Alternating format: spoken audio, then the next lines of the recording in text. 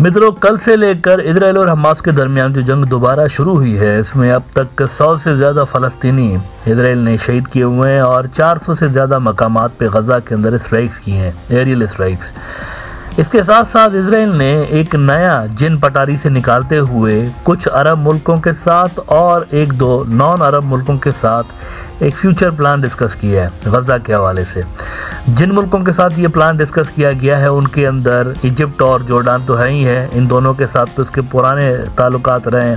Nineteen seventy eight میں Egypt کے ساتھ ان کی نارملائزیشن امریکہ نے کروائی تھی اور نائنٹین نائنٹی فور میں اردن کے ساتھ ان کی نارملائزیشن کروائی گئی تھی۔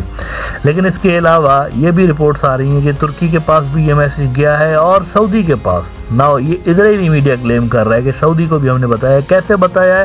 وی ڈونٹ نو کیونکہ سعودی کے ساتھ ان کے کوئی ڈائریکٹ ریلیشنس ہیں ہی نہیں، لیکن پھر بھی یہ کہہ رہے ہیں کہ سعودی تک ہم نے یہ جو پروپوزل ہے پہنچا دیا ہے۔ پروپوزل یہ ہے کہ ایک بہت بڑی سی دیوار ایک اور بننی ہے۔ ایک تو آلریڈی بنی ہوئی ہے نا جو کہ انہوں نے میرے خیال سے ایک ارب ڈالر سے زیادہ کے پیسے بھر کے ایک بڑی ماڈرن قسم کی دیوار بنائی تھی، جس کے لیے انہوں نے کہا تھا کہ اس کے اندر سینسرز لگے ہوئے ہیں، اس کے نیچے ٹنل بنے گا تو ہمیں پتہ چلے گا، اس کے آس پاس کوئی موومنٹ ہوگی تو ہمیں پتہ چلے گا۔ اور اس کے اندر اتنا کنکریٹ ڈلا ہوا ہے کہ اگر یہاں غزہ سے اس کو کنکریٹ کو بچھایا جائے سنگل لائن کے اندر تو آسٹریلیا تک پہنچایا جا سکتا ہے۔ اتنا بھاری بھرکم اس میں کنکریٹ ہے۔ بڑی لمبی چوڑی انہوں نے دیوار بنائی تھی، لیکن اس دیوار کے باوجود سات اکتوبر کا حملہ ہو گیا تھا۔ اس کا ایک ہی مطلب ہے کہ دیوار انہوں نے ناقص بنائی تھی، اس میں پیسے کھائے گئے ہوں گے، یقینی طور پر اور کرپشن کی گئی ہوگی۔ ایک اور دیوار اس کے علاوہ بھی بنانے کا انہوں نے ایک سجھاؤ رکھا ہے سامنے عرب ملکوں کے۔ اور اس میں انہوں نے کہا ہے کہ کوئی کچھ کلومیٹر کا بفر یہاں پر بنایا جائے۔ دونوں دیواروں کے درمیان ایک بفر کا علاقہ، بفر زون بنایا جائے۔ اور وہ جو بفر زون ہوگا، اس میں حماس نہیں ہوگا اور وہ کوئی مطلب دوسری جو فورس ہے، کوئی اس کو وہ کنٹرول کر رہی ہوگی۔ اور یہ جو بفر زون ہوگا، یہ بنے گا کہاں؟ اسرائیلی ایریا کے اندر نہیں۔ غزہ کے اندر۔ یعنی یہ جو چھوٹا سا غزہ ہے، غزہ جو ہے نا، کچھ جگہوں پہ پانچ کلومیٹر چوڑا ہے، کچھ جگہوں پہ بارہ کلومیٹر چوڑا ہے۔ پانچ سے بارہ کلومیٹر کی اس کی وڈت ہے۔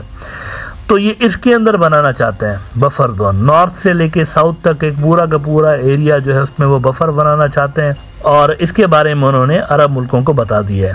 یروشلم پوسٹ نے اس پہ رپورٹ کیا ہے کہ Israel informs Arab states it wants buffer zone in post war Gaza اور اس میں وہ کہتے ہیں کہ the Egyptian sources said Israel had said in a meeting in Cairo in November that the Hamas leaders should be tried internationally in return for a full ceasefire Israel has informed several Arab states that it wants to carve out a buffer zone on the Palestinian side of Gaza's border to prevent future attacks as part of proposals for the enclave after war ends, Egyptians and regional sources said. اب دیکھیں، اس پہ ان کی یہ جو نئی فرمائش آئی ہوئی ہے، اس پہ عرب ملکوں نے ایکسپٹ نہیں کیا۔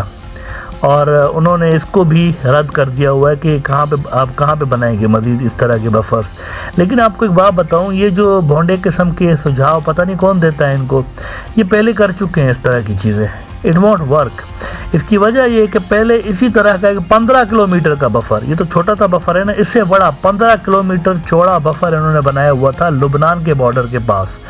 اب لبنان کے اندر جب پہلے وہاں پر حزب اللہ اتنا نہیں ابری تھی۔ اس سے پہلے حزب اللہ سے پہلے وہاں پر حرکت العمل نام کی ایک ملیٹنٹ موومنٹ ہوا کرتی تھی۔ اس کی بھی پولیٹیکل اور ملیٹنٹ ونگ دونوں تھے حماس کی طرح تھی، وہ بھی اور حزب اللہ کی طرح۔ تو حرکت العمل لمبے عرصے تک وہاں پر اسرائیل سے ان کی جو اسٹرگل تھی وہ جاری رہی۔ اسرائیل کے خلاف۔ لیکن پھر یہ ہو گیا تھا کہ حرکت العمل کمزور ہو گئی تھی اور اسرائیل نے پھر سکھ سانس لیا کہ اب چلو جان چھوٹی حرکت العمل سے۔ لیکن حرکت العمل کے بعد اس سے بھی زیادہ پاورفل تنظیم وہاں پر ابھرتی ہے لبنان کے اندر اور اس کا نام ہے حزب اللہ۔ یہ حرکت العمل سے کئی گنا زیادہ بڑی تنظیم ہے اور زیادہ پاورفل ہے۔ موسیٰ صدر نے بنائی تھی حرکت العمل، لیکن اس کے بعد یہ جو حزب اللہ والے آگے اور اس کو پھر ایران کی اور باقی کچھ جو ریاستیں ہیں، ان کی بیکنگ ضرور حاصل رہی۔ تو انہوں نے اس زمانے میں یہاں پر ایک پندرہ کلومیٹر کا بفر بنایا تھا لبنان کی ٹیریٹری کے اندر۔ یہ فلاپ تجربات ہیں، آپ کو بتا رہا ہوں ہسٹری تاکہ آپ کو پتا چلے کہ یہ جو بفر بنانے والے تجربات ہوتے ہیں فلاپ ہوتے ہیں اور یہ کسی کام کے نہیں ہوتے۔ لیکن اس کے بعد یہ ہوا جب لبنان کے اندر بفر انہوں نے بنایا، کافی عرصے تک وہ بفر رہا اور یہ اس کو پروٹیکٹ کرتے رہے۔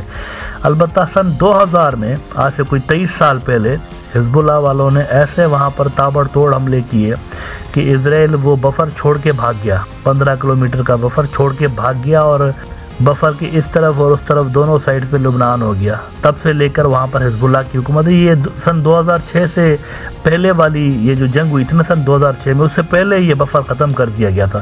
اپنا جو پندرہ کلومیٹر کا علاقہ تھا اکیوپائڈ وہ واپس لے لیا تھا حزب اللہ نے۔ اب یہاں پر دوبارہ وہ یہی کہہ رہے ہیں کہ بفر بناؤ، لیکن آپ کو یہ بات بتاؤں کہ یہ جو بفر ہے نا، یہ چھوٹا سا حصہ ہے۔ یہ جو بفر کا آئیڈیا ہے لانگ ٹرم اسٹریٹجی کا چھوٹا سا حصہ ہے۔ بیسیکلی تین حصے ہیں اس اسٹریٹجی کے۔ پہلا جو حصہ ہے، اس میں یہ ہے کہ حماس کو ڈیفیٹ کیا جائے۔ ابھی یہ اس پہ کام کر رہے ہیں۔ اتنے عرصے سے لے کے اسی پہ کام کر رہے ہیں۔ حماس کو ڈیفیٹ کیا جائے۔ ابھی تک وہ خود کہہ رہے ہیں کہ حماس کا اسٹرکچر پوری طرح سے موجود ہے۔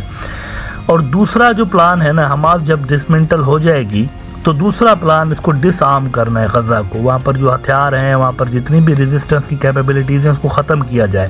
نا اس فیز کے اندر یہ آتا ہے بفر بنانا۔ یہ سیکنڈ فیز کا کام ہے۔ جب فرسٹ فیز ختم ہو جائے گا، اگر یہ حماس کو ہرا پاتے ہیں تو۔ پھر سیکنڈ فیز میں یہ بفر بنے گا اور تھرڈ فیز اس سے بھی زیادہ خطرناک ہے اور وہ یہ ہے کہ ڈی ریڈیکلائزیشن یہ اس کو بول رہے ہیں. نا ڈی ریڈیکلائزیشن کا مطلب یہ ہے کہ مکمل طور پر اسرائیلی قبضے کو کنسیڈر کیا جائے اس کو ایکسیپٹ کر لیا جائے. وہاں پر جو بھی اتھارٹی بنے گی، وہ مطلب اس کو تسلیم کر لے.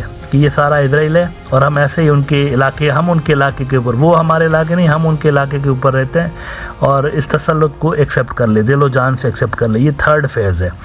تو یہ جو سیکنڈ فیز والا انہوں نے مرحلہ ہے، وہ ابھی سے ہی ڈسکس کرنا شروع کیا ہے عرب ملکوں کے ساتھ، لیکن عرب ملک ابھی تک مان نہیں رہے، نہ ترکی مان رہا ہے اس چیز پہ۔ انفیکٹ میں آپ کو یہ بتا دوں کہ فرنچ جو ایمبیسیڈر ہے وہاں پر، فرانس کے جو سفیر ہیں وہاں اسرائیل کے اندر، اس نے وارننگ دی ہے کہ اس سارے چکر میں آپ نے اردن کے ساتھ اور مصر کے ساتھ جو اتنی مشکل سے ہم نے نارملائزیشن کروائی تھی نائنٹین سیونٹی ایٹ میں مصر کے ساتھ کروائی تھی نائنٹین نائنٹی فور میں اردن کے ساتھ کروائی تھی، یہ دونوں نارملائزیشنز خطرے میں پڑ چکی ہیں اور یہ دبردوس ہو سکتی ہیں۔ یروشلم پوسٹ ہی رپورٹ کر رہا ہے کہ فرنچ انوائے وانڈز اسرائیل سے security ties with Jordan and Egypt at risk. اور وہ کہہ رہے ہیں کہ Israel ties with Egypt and Jordan long considered the cornerstones of its regional security and diplomatic architecture are at risk if the Gaza war spirals, French Ambassador Frederick Journes tells the Jerusalem Post this week. تو عرب ملکوں کی جانب سے ان کی سجھاؤ کو accept کرنا تو دور کی بات ہے۔ یہ جو چیزیں ہیں مزید اسرائیل کے لیے خراب ہو رہی ہیں۔